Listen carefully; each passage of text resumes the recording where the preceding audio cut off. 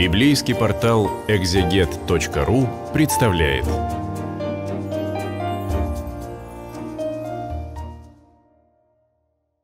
Здравствуйте, братья и сестры, все любящие чтение Слова Божия. Мы продолжаем исследование книг Деяний апостолов на библейском интернет-портале exeget.ru. И сегодня мы с вами рассмотрим восьмую главу. Савол же одобрял убиение его. В те дни произошло великое гонение на церковь в Иерусалиме. И все, кроме апостолов, рассеялись по разным местам Иудеи и Самарии. Стефана же погребли мужи благоговейные и сделали великий плач по нем. Савол терзал церковь, входя в дома и, влача мужчин и женщин, отдавал темницу. Между тем рассеявшиеся ходили и благовествовали Слово. Видим, что история убиения первомученика святого Стефана заканчивается тем, что он молится за убийц. Подобно, там, подобно тому, как и Христос молился, вися на кресте, будучи распятым, за распинателей своих. И помним, что в седьмая глава завершается еще и тем, той историей, где сказано о Савле. Молодой юноша, Савл, этот, как он о себе позднее скажет, когда он уже станет Павлом, иудей из иудеев, из колена Вениаминова, ревнитель отеческих преданий, стоял и подбадривал этих убийц, как пишет об этом святитель Ан Златоуст. К ногам его они сложили одежды свои, чтобы не сковывало движение, чтобы посильнее запустить камнем. Савол подбадривал этих убийц. И о нем самом, видимо, он уже вошел в такой раж, видя кровь мученика, не произвело в нем покаяния, а, наоборот, усилило жестокосердие. Савол, как сказано, одобрял убиение его, в те дни произошло великое гонение на церковь в Иерусалиме. Стефана погребли, как сказано, мужи благоговейные. Савол терзал церковь. И мы видим, что церковь находилась в рассеянии. В рассеянии. Вот что по этому поводу пишет святитель Ан Златоуст. Цитата. «Гонение тогда особенно и усилилось, но Бог опять избавил их, оградив знаменями, так как смерть Стефана не укротила ярости, но еще более усилила ее. То учители и рассеиваются. И смотрите, зачем? Чтобы учение более распространилось. Конец цитаты. Казалось бы, гонение, рассеяние гонят нас. Но для чего? Святитель Иоанн Златоуст делает вывод, что не надо унывать. Значит, Бог готовит что-то новое. Значит, Бог готовит каких-то других людей, которые должны услышать ярчайшее Слово Божие и благовестие о спасении души. Бед достопочтенный также в Торе Светлян Златоусту пишет, цитата, «Это есть то, что заповедал сам Господь. Когда же будут гнать вас в одном городе, бегите в другой. Ведь именно по его мановению случилось так, что горестное событие — стало причиной к распространению благовестия. Конец цитаты. Действительно, когда гонят с одного места, надо идти в другое. Значит, там Бог готовит новых людей, снова повторю, для благовестия Евангелия Божия. И далее мы с вами читаем так Филипп пришел в город Самарийский и проповедовал им Христа. То есть говорится рассеяние. Филипп был один из диаконов, которые были избраны. Но диаконы не только переклись о столах, как думают некоторые. Нет. Они тоже проповедовали.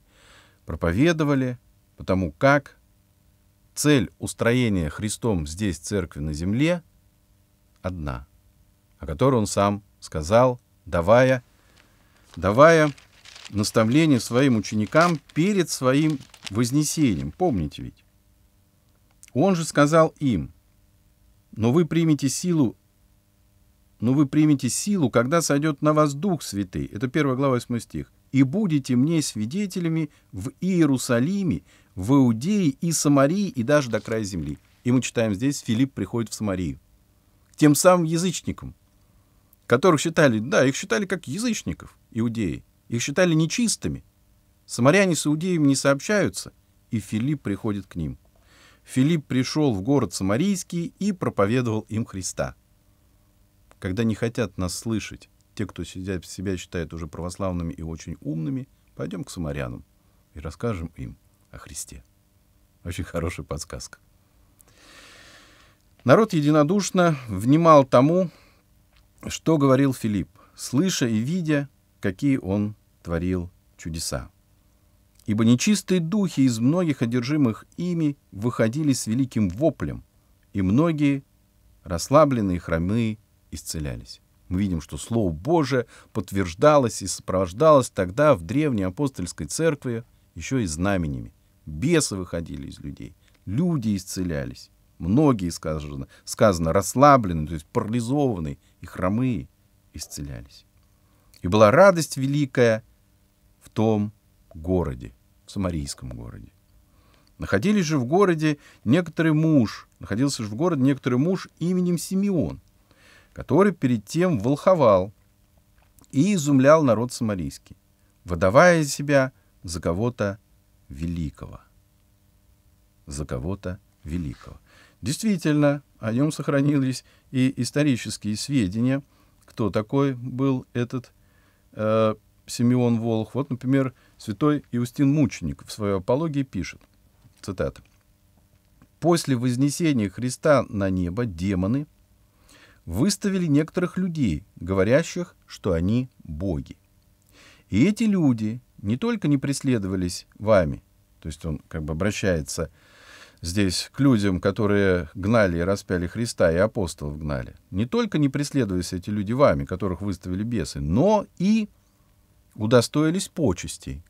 Например, некий Симон, самарянин из деревни Гифон, который во время правления Клавдия Кесаря с помощью демонов совершал магические действия в вашем городе, царственном Риме. Был сочтен Богом, и ему, как Богу, воздвигли статую на реке Тибр между двумя мостами. На статуе была латинская надпись «Симеону святому Богу». Да. И почти все самарийцы и некоторые представители других народов считали его первым богом и считают и поклоняются ему. И они говорят, что некая Елена, ходившая с ним в то время, а прежде бывшая блудницей, первой подала им в этом пример. Конец цитаты.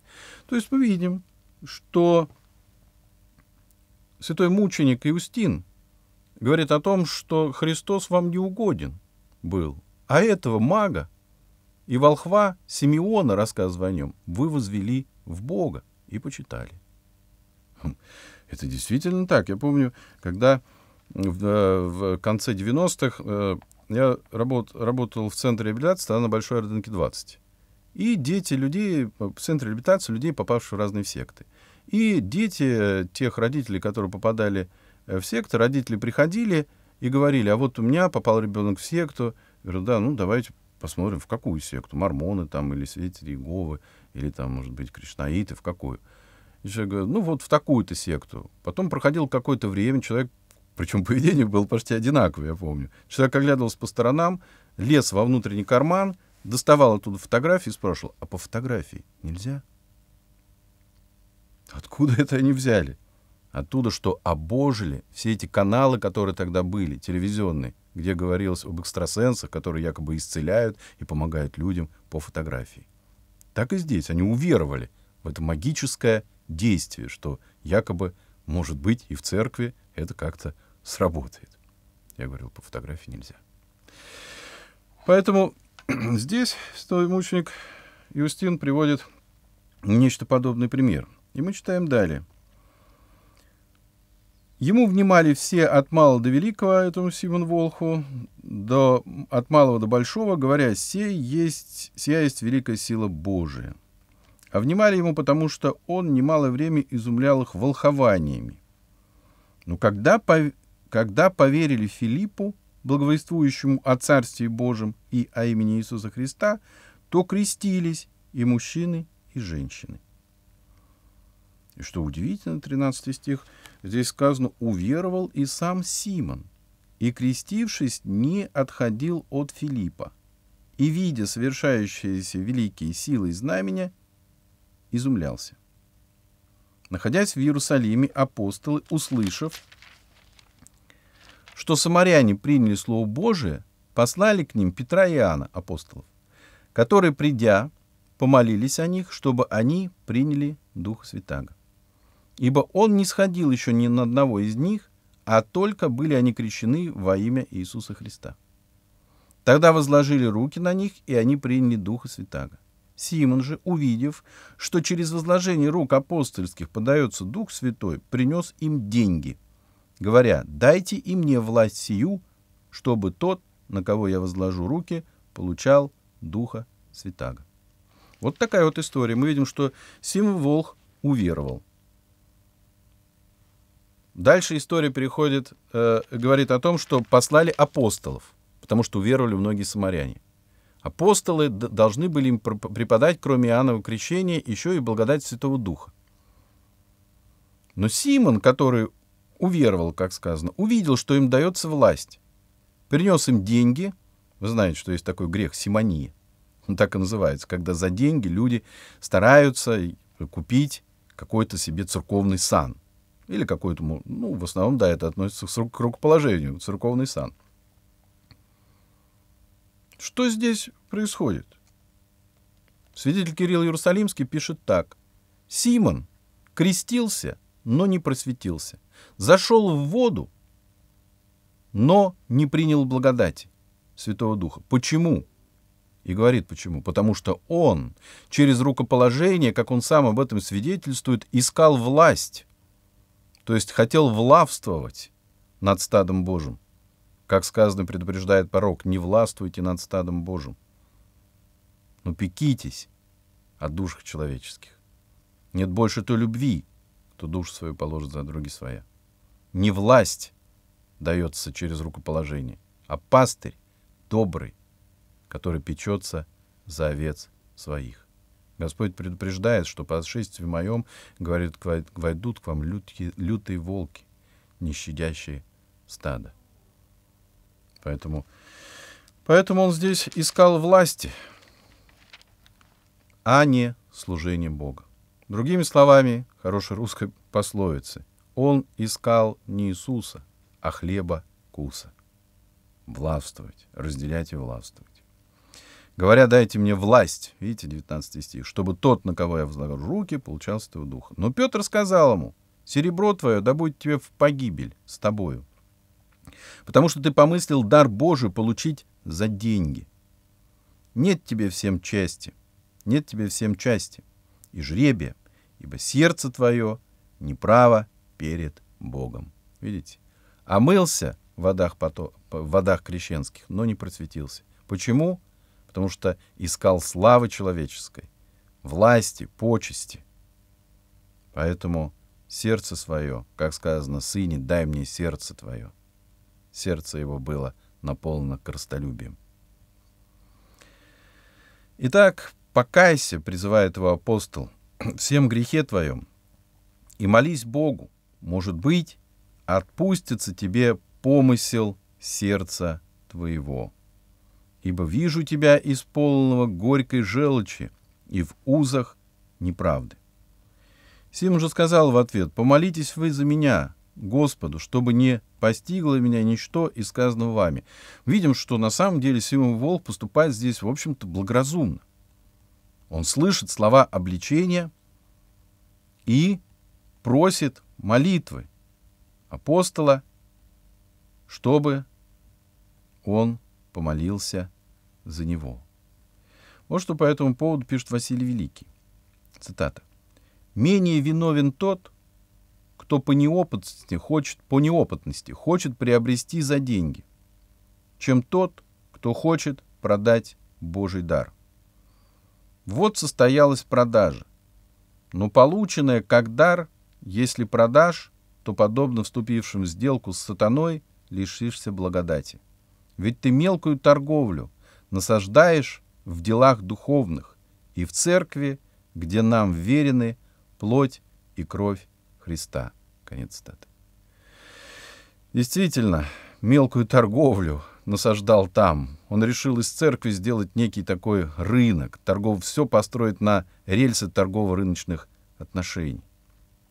Так было, э, братья и сестры, ничего здесь но В общем, нет, э, во времена преподобного Иосифа Володского, когда была ересь жидовствующих. Там это даже не были иудеи, это были какие-то маги, это был какой-то оккультизм, магический оккультизм, который притащил Федор Курицын, дьяк, министр иностранных дел того времени, из Австро-Венгрии, где всячески Э, там, ну, все догматы отрицались, иконопочитание, Богородицы, не Богородицы, и специально наедались там мясо перед причастием, блудили в алтарях. Это был, по сути, сатанизм. Но что интересно, что они сдавали в аренду, сказали, зачем вам, уважаемые отцы, да, священники, заботиться о устроении храмов, там, о штукатурке, о строительстве. Давайте мы будем об этом заботиться, вы нам просто аренду давайте, а вы пекитесь о духовном. Вроде бы предлог такой был хороший. Но все обернулось тем, что храмы задолжали. Ну откуда там священник? Ну что принесут, сказано, благовествующий питается от благовестия, а священник от алтаря. Что принесут, то и есть. И что произошло? Приходят люди креститься, отпевать. Мертвых приносят отпевать в храм. А храм закрыт, написано, аренда не, аренда не уплочена. Что еще дальше было, когда уже сами некоторые священники заразились этой ересью? Они ходили по домам, когда их призывали причащать, они выставляли таксу за причастие. Что это такое? Торговлю крови Христовой, как говорит здесь Василий Великий, святитель. Ведь ты мелкую торговлю насаждаешь в делах духовных и в церкви, где нам верены плоть и кровь Христа. Итак, они Симон же сказал в ответ, да помолитесь. Они же, засвидетельствовав и проповедовав Слово Господне, обратно пошли в Иерусалим и во многих селениях самарийских проповедовали Евангелие. Мы видим, что они опять возвращаются туда, где, в общем-то, их поджидала опасность.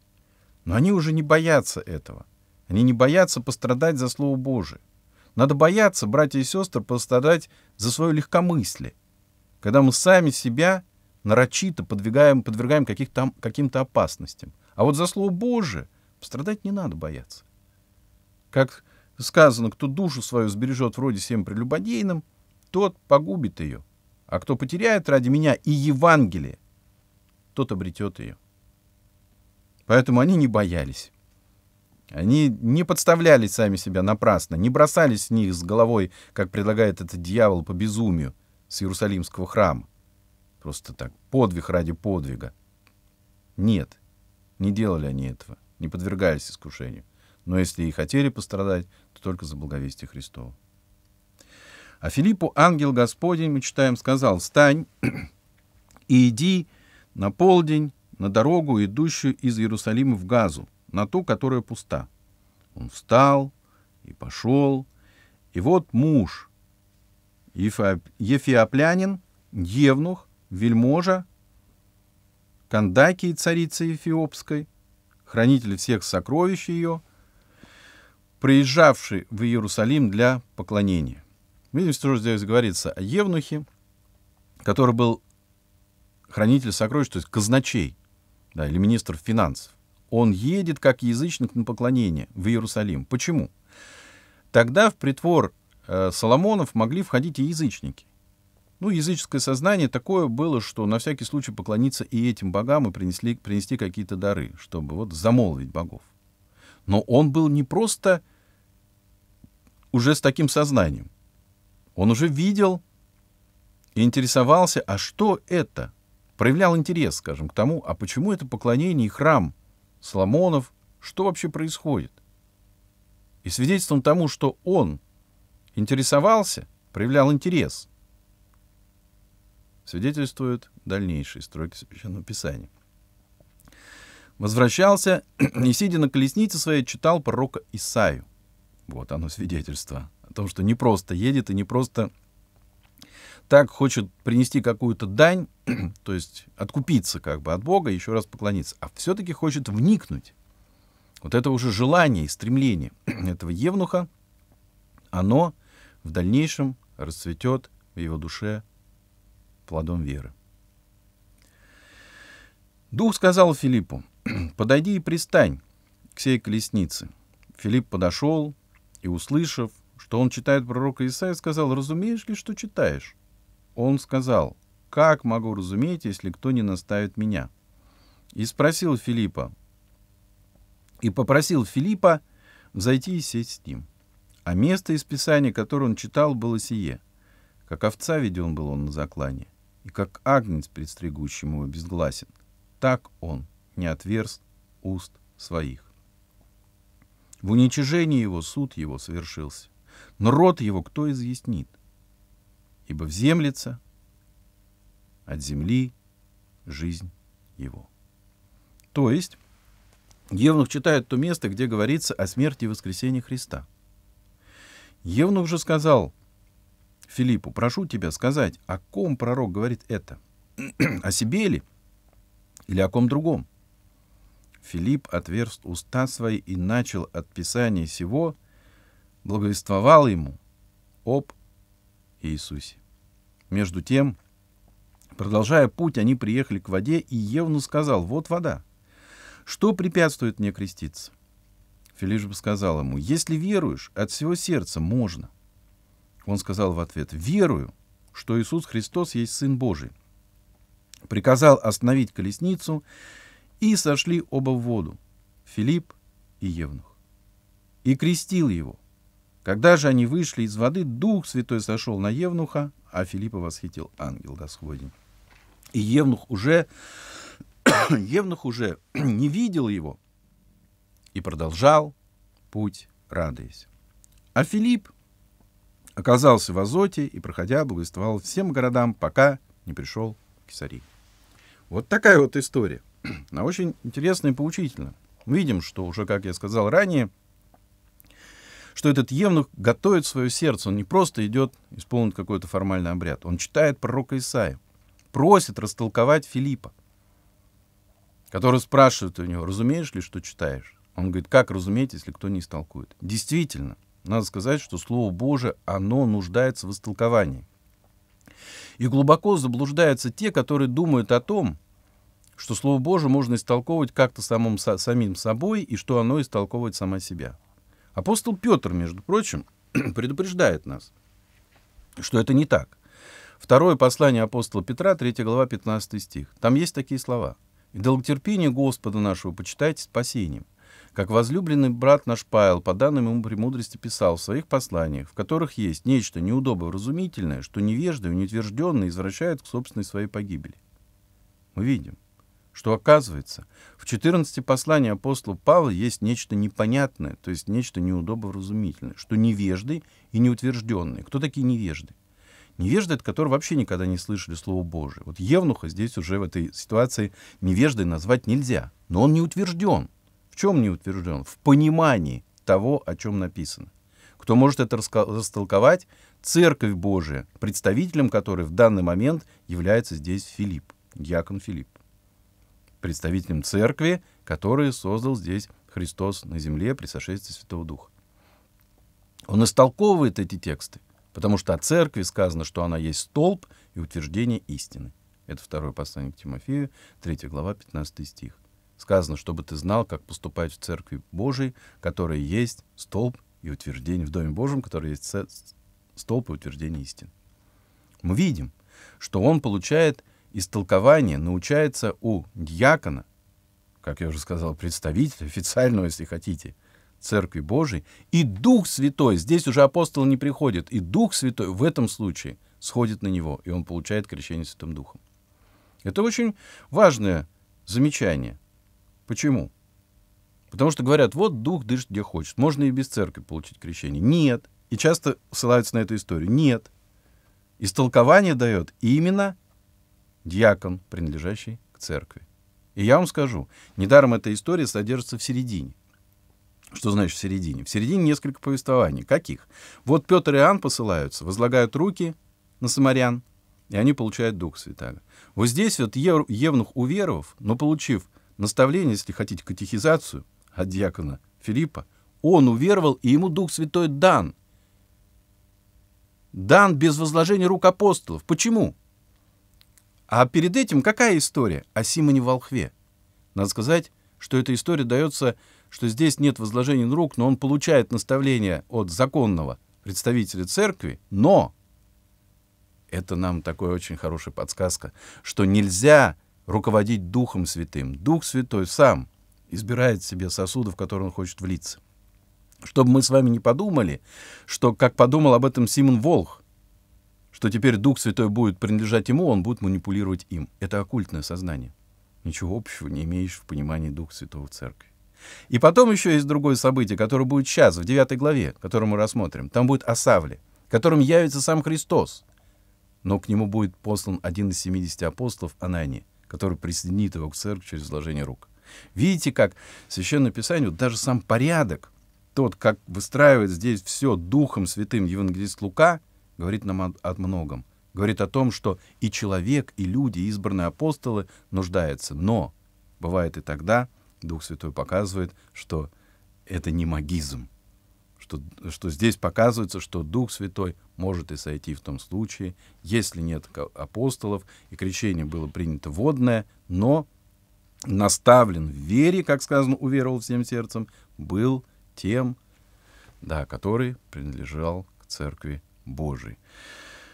Вот такая история такая восьмая глава, опять же, не менее насыщенная по своим событиям, как, в общем, и вся книга «Деяния апостолов», которая дано нам с вами для того, чтобы мы могли насыщаться Словом Божьим, чтобы могли им руководствоваться в своей жизни. Не так, как бывает, как попадя от ветра головы своей я, но вдыхая себя эти божественные строки, откровения Божие и помни всегда три важных правила.